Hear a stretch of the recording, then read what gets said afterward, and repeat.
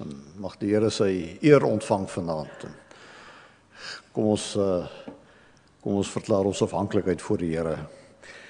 Here, ons is saam omdat ons u kinders is. Ons kan nie sonder u lewe nie. Ons is van u diep afhanklik en ons gebed is dat u ons elkeen vanaand seën. U ken elkeen wat hier teenwoordig is. U ken elkeen se hart en omstandighede elkeen se verlange, elkeen se vreugdes. U weet wat ons nodig het en mag vanaand se saam wees, samekoms ook daartoe dien om ons elkeen net nader aan U te bring, te versterk. Laat U naam geëer word. Jesus naam. Amen. Kom ons kom ons besing die God wat reën gee, wat sorg vir sy kinders. Uh Psalm 68 en daarna 'n kort gebed.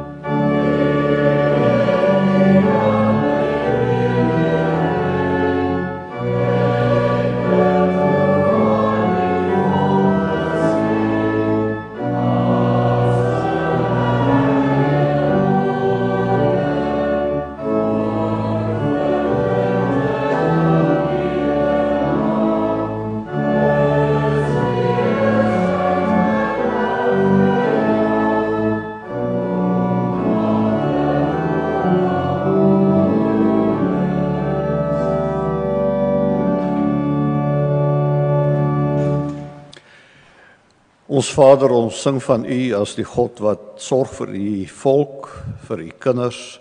U is die God wat reën gee, is die God wat die die land met reën deurdrink. En in hierdie vertroue kom ons vanaand na U toe en ons sê Here, dankie vir die reën wat alreeds geval het.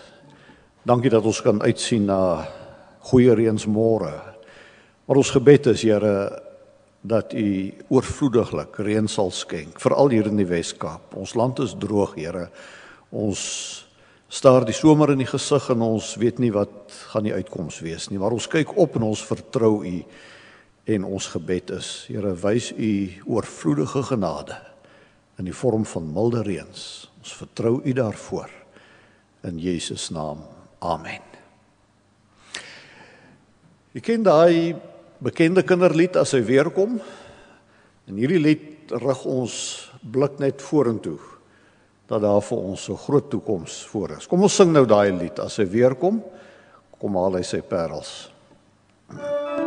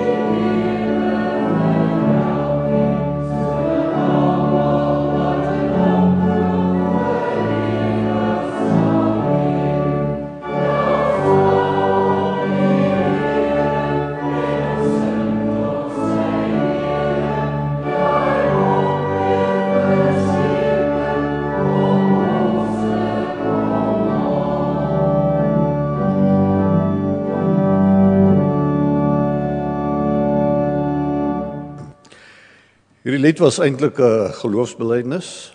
Dit wat ons glo van Jesus se wederkoms.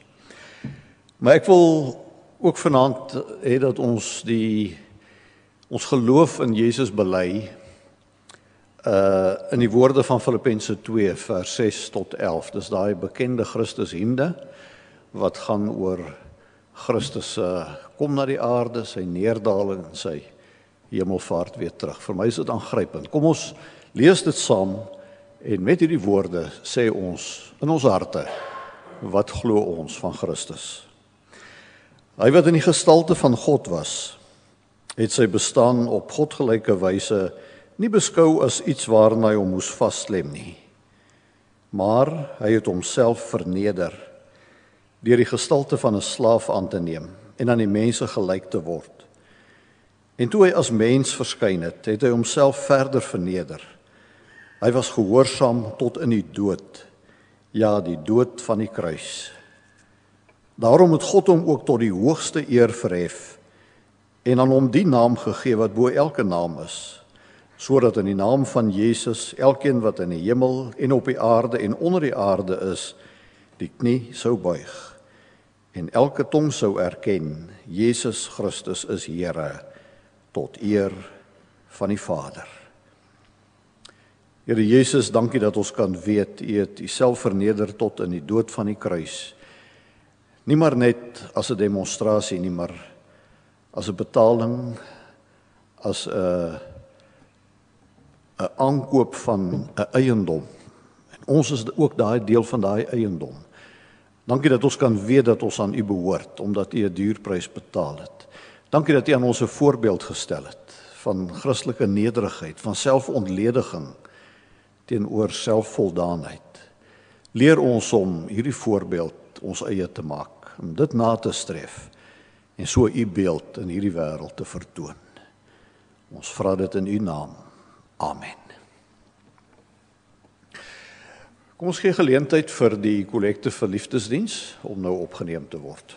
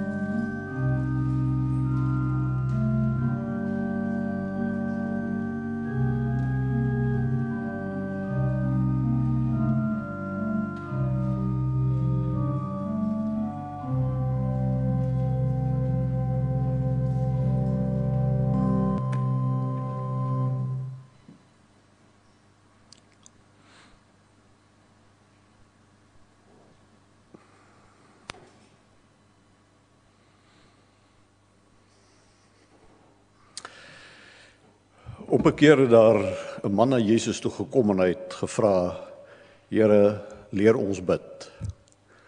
Dis waarna ons vanaand gaan kyk. Spesifiek die antwoord wat Jesus gegee het. Hoe Jesus gehoor gegee het aan hierdie versoek.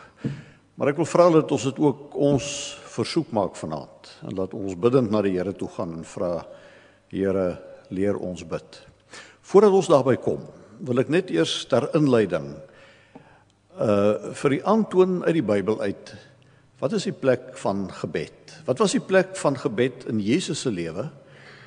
En wat was die plek van gebed in die lewe van die vroeë gemeentes, die vroeë Christene?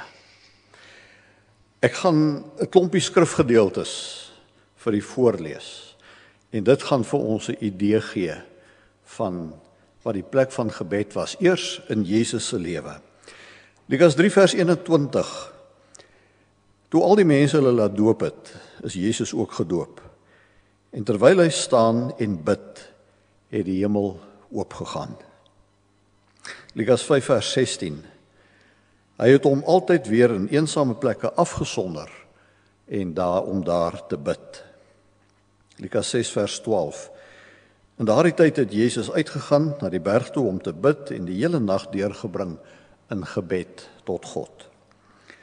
Op 'n keer terwyl Jesus eenkant besig was om te bid, het sy disippels by hom aangekom. Lukas 9:28 Omtrent 8 dae nadat Jesus hierdie woorde gesê het, het hy vir Petrus en Johannes en Jakobus saamgeneem die berg op om te gaan bid. En dan Lukas 11 vers 1. Jesus was ergens op 'n plek besig om te bid. Jy sien dis asof as iemand vir Jesus gesoek het, dan kry hulle hom maar in baie gevalle waar hy besig is om te bid. Toe Judas Iskariot Jesus wou gevange neem en hy nie seker was waar Jesus is nie, was dit eintlik baie maklik. Hy het net na Getsemane toe gegaan want hy het geweet hy gaan Jesus daar kry besig om te bid. En dit het, het ook so gebeur. Jesus het dikwels 'n hele nag deur gebid. Het jy al 'n nag deur gebid? Het jy al 'n uur lank gebid? Daar's 'n uitstekende handleiding oor leer ons bid.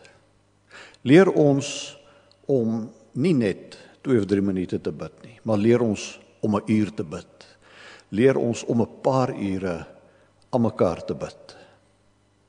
Die van julle wat belangstel, ek kan na die tyd vir julle die naam gee van die van die handleiding. Dit is dit is hoe gebed nie net deel van Jesus se lewe was nie, maar dit Dit was 'n lewenswyse by hom om te bid. Die vroeg die eerste gemeentes. Kom ons lees hier 'n paar gedeeltes. Handelinge 2. Al die gelowiges was eensgesind en het alles met mekaar gedeel. Hulle het hulle grond en besittings verkoop en die geld aan almal uitgedeel volgens elkeen se behoeftes. Hulle het almal elke dag getrou by die tempel bymekaar gekom, van huis tot huis die gemeenskaplike maaltyd gehou. Hulle kos met blydskap en in alle eenvoud geëet en God geprys en die hele volk was hulle goedgesind en die Here het elke dag mense wat gered word by die gemeente gevoeg. Nou hierdie gedeelte is vir ons die beskrywing van 'n modelgemeente. Dit is hoe elke dominee begeer sy gemeente moet wees. Hoekom het dit so goed gegaan met hierdie eerste gemeente in Jerusalem. amper sê ek die Gereformeerde Kerk Jerusalem. Hoekom het dit so goed gegaan? Ek ek wil nog 'n gedeelte lees wat vir ons beskryf hoe dat hulle net uitermate geseën was. Handelinge 4.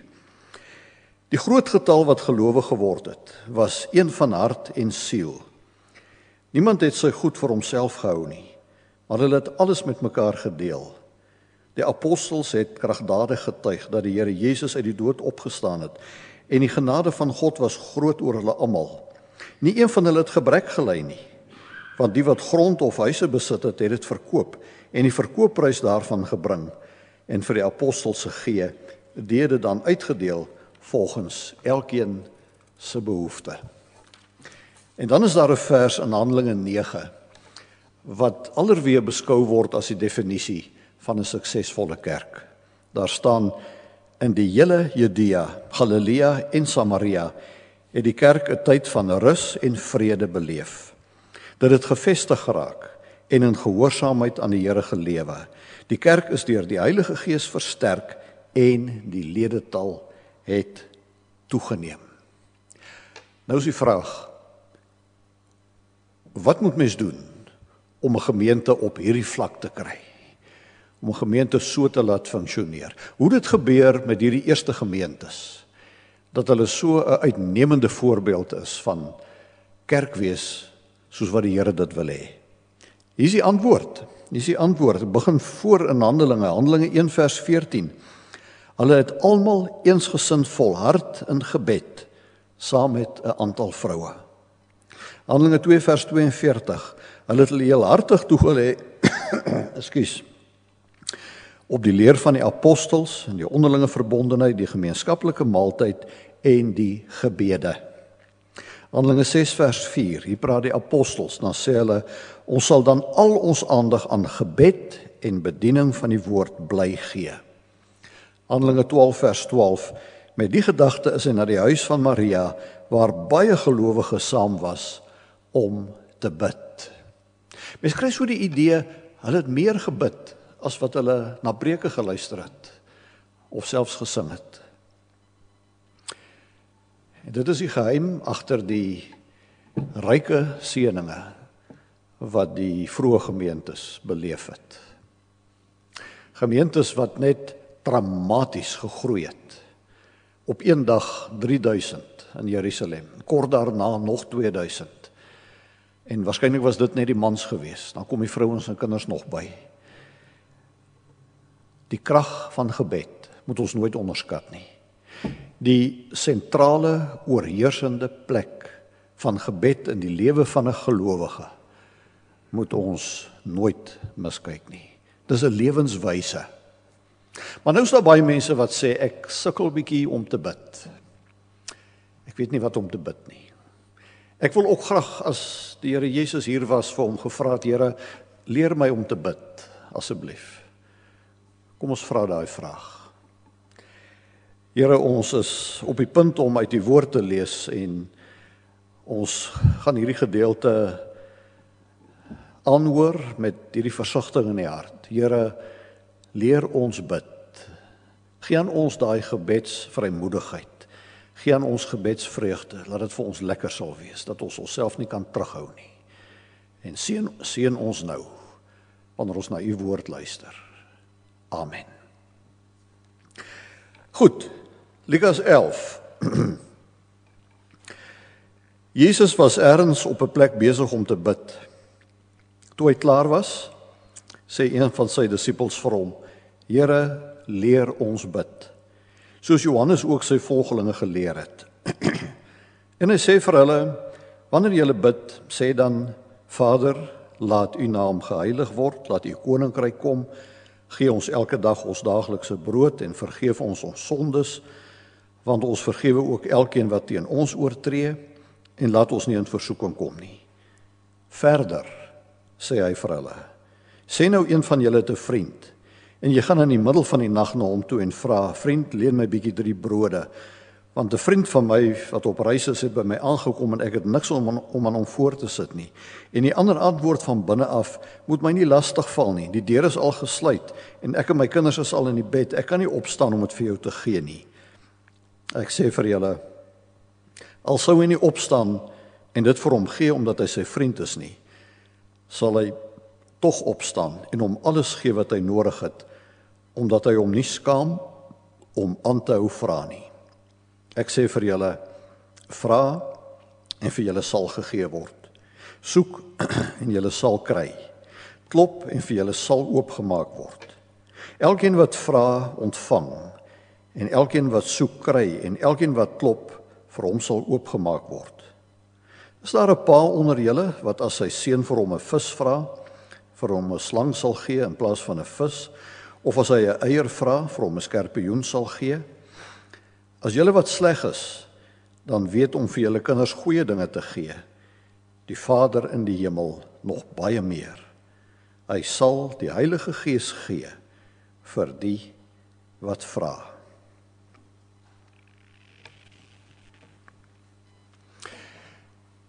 Hierdie jong man het vir Jesus gevra: "Here, leer my bid." Hy het uiteindelik bedoel daarmee: "Here, leer my so bid dat my gebed krag sal hê. Leer my so bid dat hierdie gebed verhoor sal word, dat dat dit by die Vader sal uitkom. Here, leer my die die regte gebed. Leer my die regte formulier bid, want dit is wat die Jode destyds geglo het. Daar was 'n redelike stryery onder hulle oor watter formulier gebed en van hierdie formulier gebede het hulle baie gehad. Watter formulier gebed is die beste een? Watter een gaan die meeste krag hê? Watter een gaan verseker by die Vader uitkom? Van hierdie formulier gebede was lang gebede gewees. En hulle het dit uit hulle koppe uitgeleer. Baie keer op die straathoeke gestaan en hulle hierdie formulier opgesê. En dan uh, was hulle baie tevrede omdat hulle die die regte woorde uitgespreek het. Of hulle in hulle hart werklik bewus was van God en hulle gedagtes werklik gekonnekteer het met God, dit is dis 'n ander vraag. En so kom hierdie man en wat hy eintlik vra is, Here, gee vir ons net die regte formule.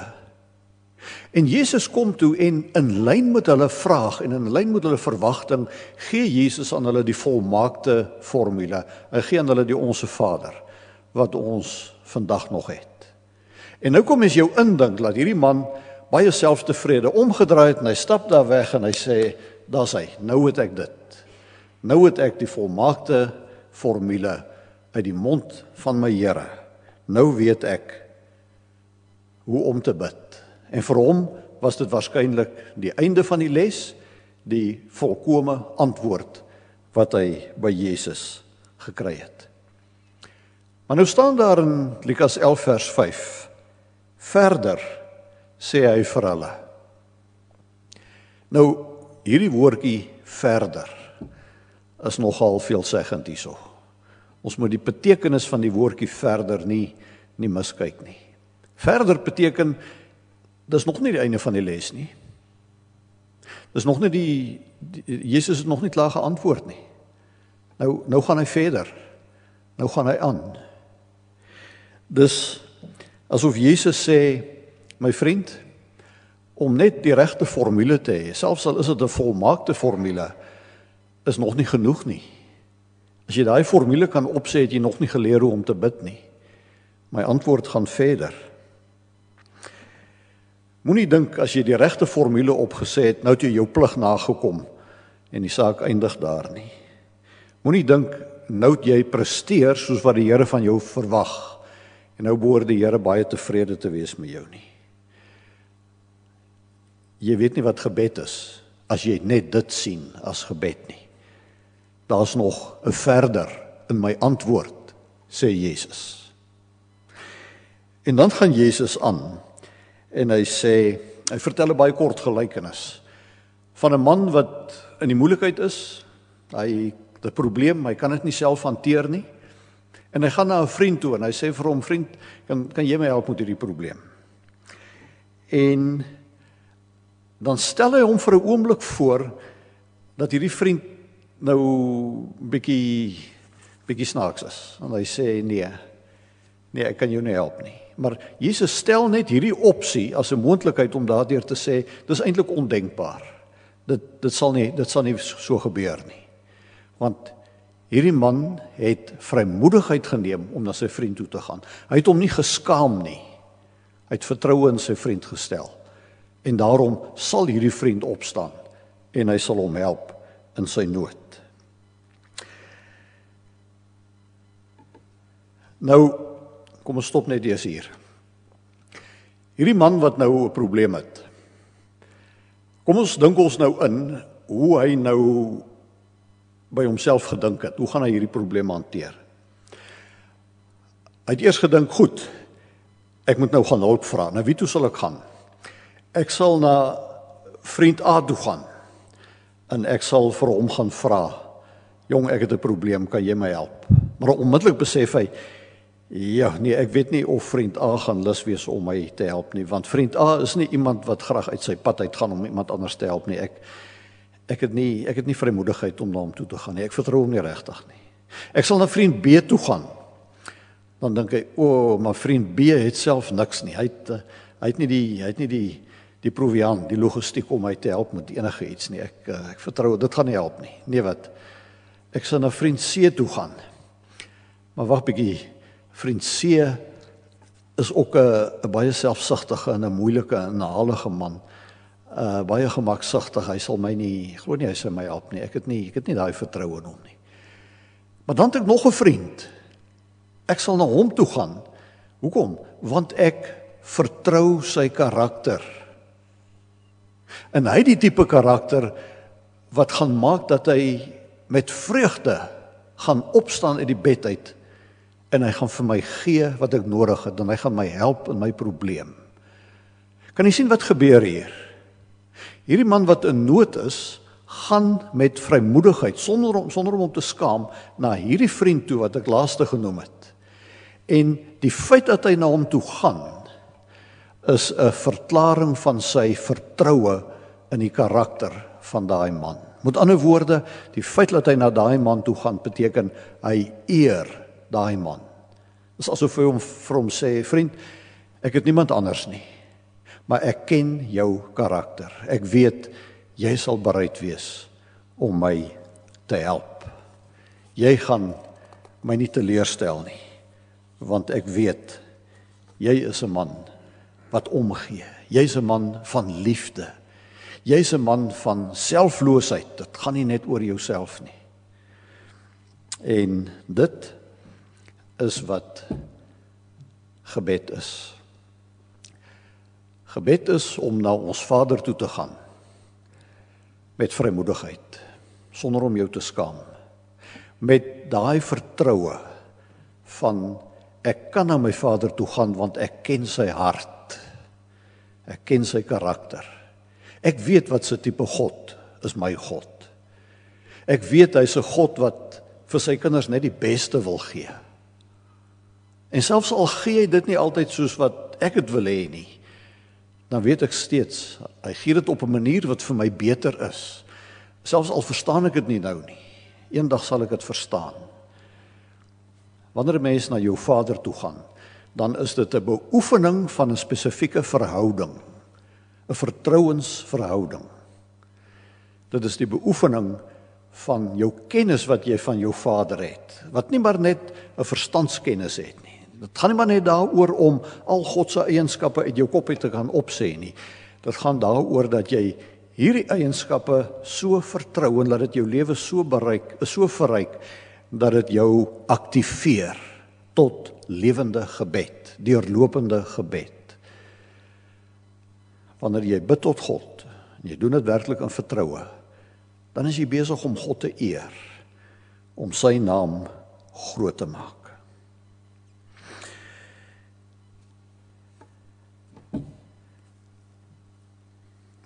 Jesus sê: "Julle wil die regte formule hê." Maar dis nie julle probleem nie probleem lê nie in die regte formule nie. Of die oplossing lê nie in die regte formule nie. Die oplossing lê in 'n vertrouensverhouding met die Vader. Probleem lê in daai daai intieme verhouding met God waarin ek hom ken. En dan gaan Jesus nog verder. En hy sê kom ons gesels bietjie oor God se karakter. Hy sê kom ons vat die voorbeeld van aardse paas, iets wat bekend is vandag nog. Hy sê is daar 'n pa onder julle? As daar 'n pa wat 'n kind het en die kind vra vir hom vir die pa 'n vis. Die pa gee vir hom 'n slang. Of as die kind kom en hy vra vir die pa brood en die pa gee vir hom 'n klip of die pa gee vir hom 'n skerpioen, iets wat gevaarlik is. Dis asof Jesus sê, maar dis ondenkbaar. 'n 'n pa doen dit tog nie. Ons beleef dit elke dag, dit gebeur nie. Instink neem net oor, al is dit 'n pa met wat so slegte karakter, instink neem net oor en jy gee vir jou kind wat vir hom die beste is. En dan sê Jesus, as julle wat van nature sleg is, julle aardse paas, dan weet om goeie dinge te gee, hoeveel te meer ek wil amper sê hoeveel duisendmal te meer sal julle Vader nie aan julle goeie dinge gee nie. Dis logies. Dit is die karakter van ons Vader. Mens kan op baie ander plekke gaan hulp soek. Jy kan my jou lysie maak. Ek gaan na die een toe maar dit gaan nie werk nie. Ek gaan na vriend B toe vriend C toe. Maar ek het 'n Vader in die hemel. Ek ken sy karakter. Ek vertrou hom. Ek kan na hom toe gaan en dan gaan ek na hom toe. Kan jy sien wat is die verskil tussen 'n formule en vertroue? 'n Formule is 'n koue kliniese mooi uitdrukking mooi formulering wat ek opsê. Dit raak nie my hart nie. Dit is koud. Vertroue is iets warm. Dis 'n verhouding. Dis 'n verhouding waarin ek intree, waar ek veilig voel, waar ek geborge voel, waar ek troos kry, waar ek krag ontvang, waar ek ondersteuning kry, waar ek hoop kry.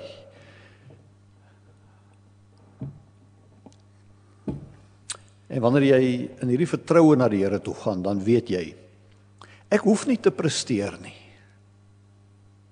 Ek hoef nie hier 'n meesterstuk uit te haal voordat die Here my gaan verhoor nie. Ek kan maar met my stamelende gebed na die Here toe gaan. Ek kan maar struikel oor my woorde. Ek kan maar my taal gebruik so swak as wat dit is. Die Here sal verstaan. Ek kan maar op hierdie manier na die Here toe gaan. Ek ek hoef nie te te presteer nie. Hoekom? Ek ken my Vader se hart. Ek ken sy karakter. Ek weet hy sal my vergewe, hy sal my verstaan. Hy sal my nie verwyd nie en hy sal vir my gee wat ek nodig het. Gebed is 'n intieme saak want jy praat met jou Vader, jou Pappa Vader, jou Abba Vader. Gebed is 'n beoefening van jou verhouding met die Vader. As jy nie daai verhouding met jou Vader het nie, dan gaan jy moeilik kan bid. As jy daai verhouding met die Vader het, maar jy bid nie, gaan daai verhouding kwyn. Dit beloof ek jou. As jy nie deur Jesus Christus bid nie, Dan gaan jy bid soos wat die Jode in die Ou Testament gebid het en so wat die Jode vandag nog bid. Hulle bid na 'n God wat ver is en hoog is, onbereikbaar. Deur Jesus kom die Vader baie naby. Gaan lees maar Hebreërs 10 van vers 19 af. Terwyl ons vrymoedigheid het om toe te tree tot God, laat ons tot God nader deur die bloed van Jesus. Hoe beter jy vir Jesus ken, hoe beter gaan jy die Vader ken. Want niemand kom na die Vader toe nie behalwe deur Christus. En as ons dan bid, dan gee die Vader wat ons nodig het.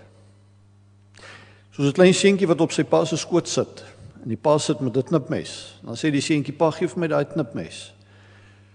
En dan vat die pa die knipmes en hy maak hom toe en hy gee hom vir sy seentjie. Hy hy gee wat die seentjie gevra het, maar hy gee dit op 'n ander manier. Want hy weet, nou is daai knippes nie gevaarlik nie. So gee die Vader ook vir ons dinge op 'n ander manier. Want die Here weet wat is die beste vir ons. Selfs al verstaan ons dit nie. Soos arme Job wat deur sy lewe hoeveel dinge deurgegaan het en nie verstaan het hoekom moes al hierdie dinge met hom gebeur nie, want hy het nie gesien wat agter die skerms aangaan nie. Eers in hiernamaals het Job dit verstaan. En so is dit ook vandag met ons. Die Vader gee vir ons wat ons nodig het. Wat gee die Vader van ons? Wat wil die Vader vir ons die graagste gee? Dit staan in die 13de vers. Waar daar staan As julle wat sleg is dan weet om goeie dinge vir julle vir julle kinders te gee, hoeveel te meer nie julle Vader wat in die hemel is nie. Hy sal die Heilige Gees gee aan die wat hom daarvoor vra. Kyk, hier het ons nou een verklaring van die Vader in sy woord, 'n verklaring van gebedsverhoring. As daar een ding is waarvoor ons vra en waarvan ons kan seker wees die Here sal dit gee, dan is dit 'n gebed om die Heilige Gees, want dit het ons nodig daarsonder kan ons nie klaarkom nie. En ek wil afsluit en ek wil u vra, kom ons maak gebed om die Heilige Gees deel van ons normale gebedslysie elke dag. En hoe meer die Here hierdie gebed verhoor en hoe meer hy die Heilige Gees aan ons gee, hoe meer ons vol word van die Heilige Gees en deur die krag van die Heilige Gees werk, hoe meer gaan ons tot die Vader bid ook. Hoe sterker word ons gebedslewe en hoe meer raak dit vir ons 'n vreugde en nie 'n plig of 'n pligpleging nie. Geliefde gemeente, die Here seën u in die uitoefening van die gebedslewe Die Here seën u wanneer u in persoonlike verhouding met die Vader tree in gebed. Amen. Kom ons sing ehm um, ons sing lied uh 286 Here God van liefde. Met hierdie woorde verklaar ons die karakter, ons besing die karakter van ons Vader. En daarna sing ons direk uh, Psalm 20 wat eintlik 'n seën is wat die Here oor ons uitspreek waar hy sê ek sal jou verhoor as jy tot my bid.